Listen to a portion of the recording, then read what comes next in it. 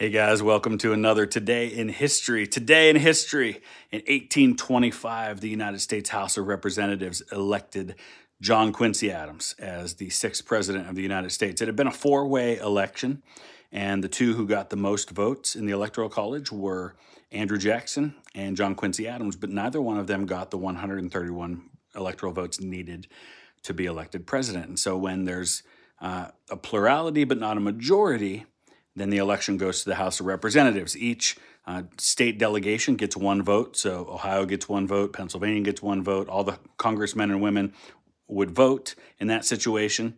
Uh, and then their vote would go to one candidate. John Quincy Adams got the most votes in the Electoral College. It had happened once before in 1800 when they chose Thomas Jefferson over Aaron Burr.